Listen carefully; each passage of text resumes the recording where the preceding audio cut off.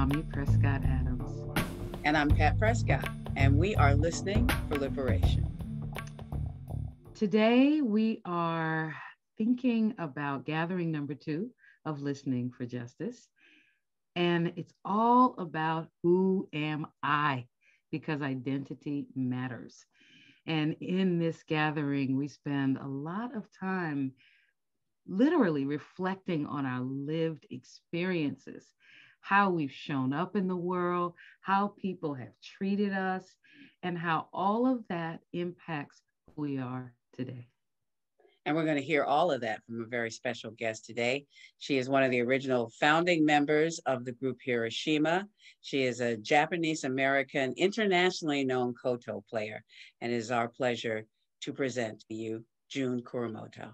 So, June, I am just beyond excited to have a conversation with you about who you are.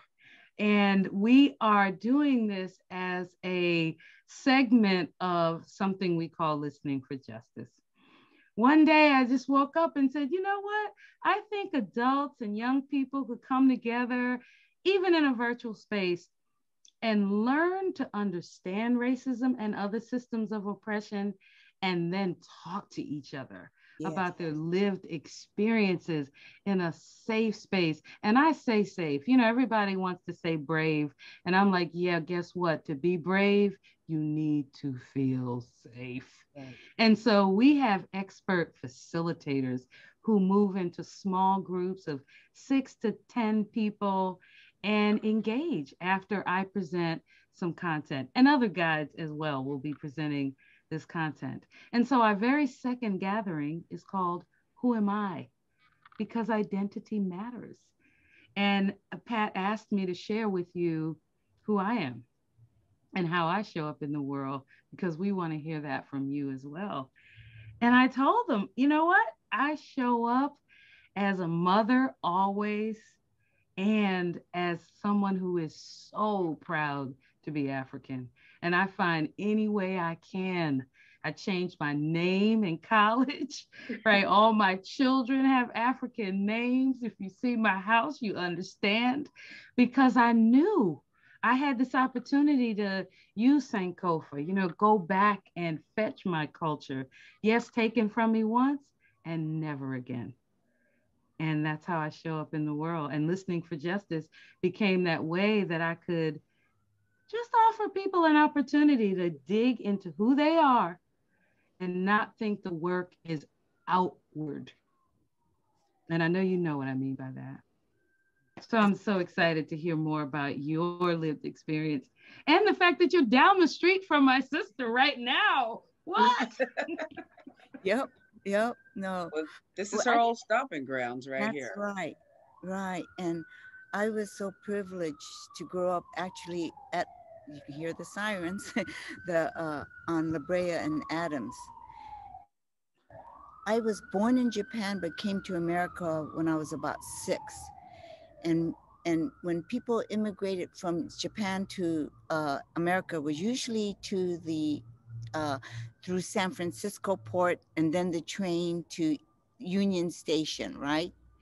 And so then most most of us immigrated to the East LA which is right now more, more Hispanic. Whereas back in then, it was uh, half Jewish, half Hispanic. But my mother coming to America with four kids, alone, not speaking English, from two years to seven, we got kicked out of many apartments because we made too much noise. so my uncle was good enough to find a house here in, on the west side. So we grew up on the west side and I was very fortunate to to to grow up there because it was a third Japanese American, third blacks, and third white, or actually Jewish. So I had a great multicultural experience, and what I found was uh, that made me appreciate people, people of color, people of different because uh, they they taught me a lot about accepting myself for who I am as a as a Japanese descent, right? And so with that, I was just so, uh, but I, at the same time, I was homesick for Japan. So I found this instrument that that linked me to that culture. But as I grew up in the, you know, as I started growing up, I wanted, I didn't like the Japanese music. I wanted, I wanted um, Smokey Robinson and I wanted Marvin Gaye and I wanted the Spinners and the Temptations. That's what I grew, you know, that's what I wanted. So then I thought, how could I, um, I didn't think I would be the person, but introduce this instrument into this musical genre that I love so much. And that was my journey.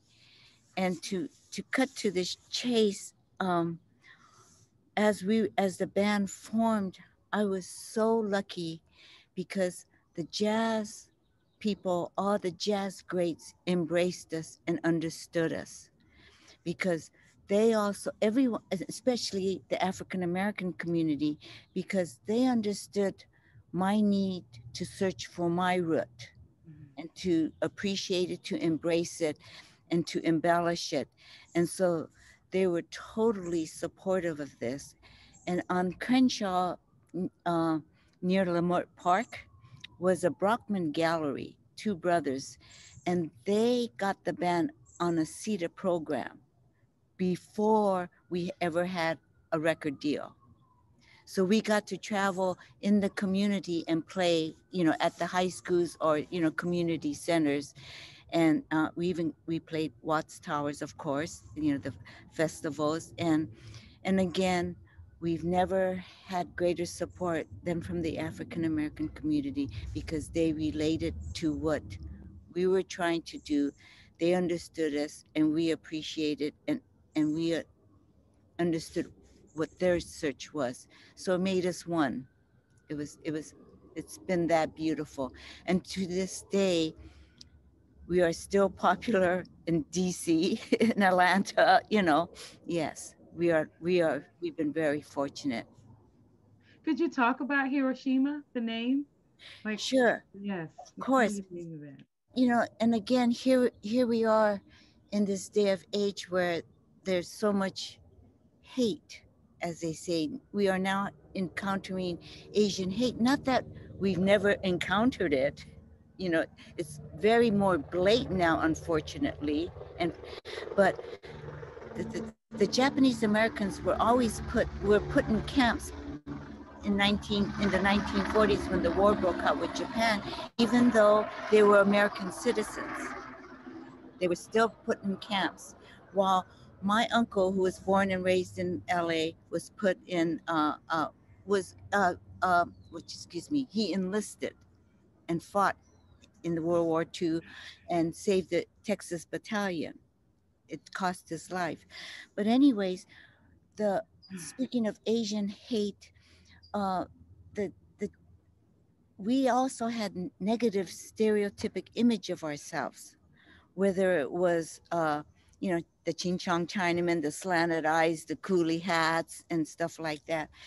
And and we had a discussion in the early late 60s 70s you know at which time the hispanics had a great movement of santana malo you know they were coming up and we're thinking and and and the the blacks had their own always had their own music because of the jazz of course new orleans right but the Asians did not. And, and so the two brothers, Dan and John, were tripping out saying, gee, wouldn't it be great if there was an Asian band that broke the stereotypic image, you know, and that, um, you know, wouldn't it be great? And it made a statement and, and, you know, and at that time there were also groups like Chicago, you know, Alabama, you know, right. So they thought, well, how about Hiroshima? you know, and that's how it came. And they thought it's strong, powerful, it it touches nerves, controversy is good. Make you look at it, mm. deal with it, deal with it, but not in a negative way. We thought that if the city itself has been devastated and now it is a blooming, one of the most thriving cities this is the phoenix from the ashes. Mm-hmm. And this is what we wanted to, to, to spread that we are children of the atomic age, but it's not what was done now, it's what we do with it now. I mean, what was done then, it's what we do with it now and turn the negatives into a positive. And then, of course, many people said, oh, don't use that name. Record companies asked us to change names. But we stuck true to it and we said that if you listen to our music, then you will understand. And many, not all, agreed, said yes. When they listened to the music, then they understood. People have been saying yes to the music of Hiroshima for forever, June, because how could you say no? It just, it says so much and connects people in so many ways. And you talk about embracing that instrument, the koto, such an important part of Japanese culture. What are you most proud of about being of Japanese descent? And what about your culture do you most want other people to know? I, about my culture, I, I have to say, it was like the uh, tsunami. Remember the earthquake tsunami incident? They proved themselves as civilized people, and and and that they waited in line. They, I, you know, I heard stories where you know, they go in line and they grab their things that they need, but when the store closed, they put it back and then came back the next day to get, you know, that I learned thoughtfulness. And and and you have to uh, my daughter made a very great observation when we were in Japan. She said, in general, she says, Japanese people are thoughtful because you live in a country that's so small with so many people, you have to be thoughtful of everyone else or you will not get along. It's just like when you when you're driving in the car, if you're the front car and you stop at a signal, all the cars behind you turn off their lights so that it doesn't glare in the front the car in front of you. But the, the front car can keep the lights on so that you know there's cars in that lane but th- that's how you know thoughtful they are because to live in such a small space you have to be that thoughtful. And that's like you know large families. You know we tend to tolerate learn to share to you know more than if you were living by yourself. Because if you're living by yourself you can take a bath anytime you want. You know you can you can watch tv whatever you want Whereas if you live in a larger, com- you have to share. We had to share one bathroom with the six of us. You know, we had to wait our turns. And my mother being poor, we had to share the bath water. You know, all those things, and and and those things, you know, I I really appreciate, you know, and learned, and I hope I've adapted it to my lifestyle and being less selfish, mm-hmm. just like my mother. Yeah, and yeah, so those kinds of things I really um, respected and and treasure in you know of the Japanese.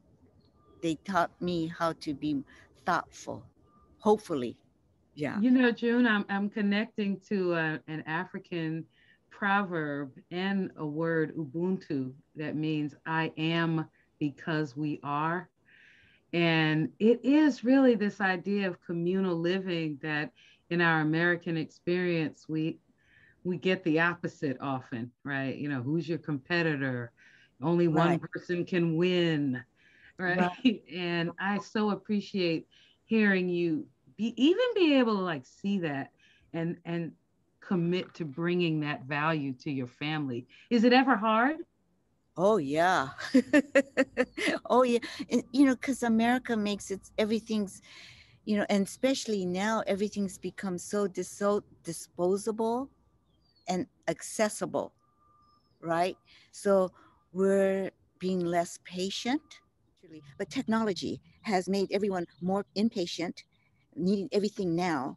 You know, everything is accessible and everything is disposable right? I mean, it's like the printers, you know, they make the printers cheaper, but the cartridge costs, you know, a million dollars and you have to have the cartridge to make the printer run you know all these things. I mean you know so that's what we're dealing with. That's what the kids are dealing with you know and that makes it hard to teach them patience to teach value right? You know and and and thoughtfulness is coming more into capitalist rather than consideration. Thoughtful of how do you think of making more money? How to get how to sell more right? Everything is marketing everything is yeah. So it's a whole different world.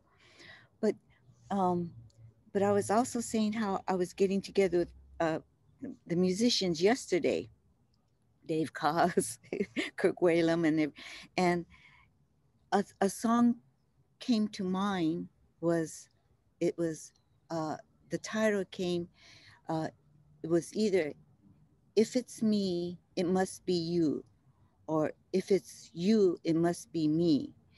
Meaning that, again, going back to this state of hate crimes and everything, I hope I'm a more sensitive person to all of my brothers and sisters of all colors because, especially having the fortune of growing where I did, growing up where I did, but you know, if things are happening to like George and Breonna Taylor and all that, I'm ignorant to think it's not going to happen to me or things happen to me i'm not ignorant that it's not going to happen to another person of color.